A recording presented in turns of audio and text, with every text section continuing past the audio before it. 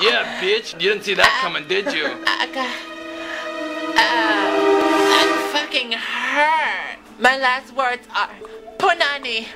Ugh. Oh my god, Amber. Are you okay, Amber? Not really. My face is pretty fogged. Oh, we'll just get plastic surgery to fix that up. Oh, thank God.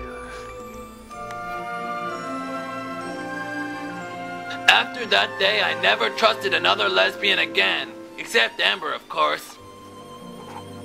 The Queen was so happy that we saved her life for the third time, she invited us to have a special meeting with her. Isn't this fun, Amber? We get to see the Queen in a box. Bow down to the Queen! Thank you, but you have to turn me around, stupid. So, uh, okay. Uh, Wow. I wish I was a queen in a box. oh. Uh.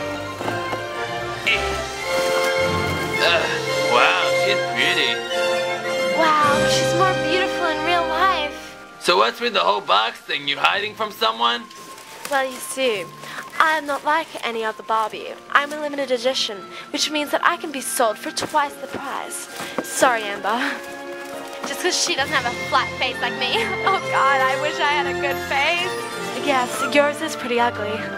I'm going now. Goodbye. Someone has their period. Come on, Amber, let's go home. Tasha and my brother Titas got a job as the weather girl on the Sandra Sunshine Show.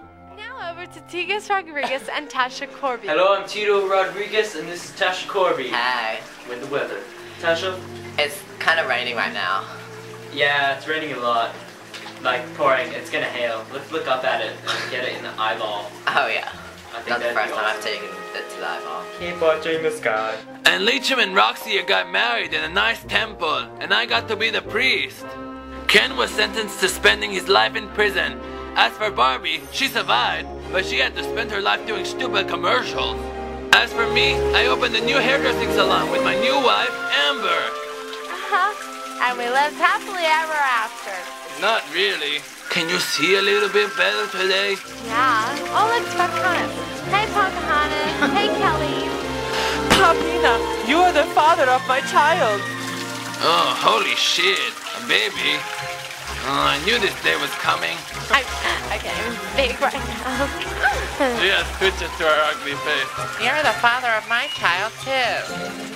Oh, shit. Give your daddy a kiss. Ugh, this one has acne. She has the chicken pox. You're gonna be one ugly teenager. You're the father of my child, Pape. You're the father of my child, too. Pape, you said you loved me. I love you Oh, more. no. I love me. Me too. Me too. Me too. Me You're the father of my child, too. I'm Me three. your daughter. Me fifty. Hey, you got my baby, too. And we all live happily ever after. The doctors say Amber's face will never heal, but she's still a pretty good root, though.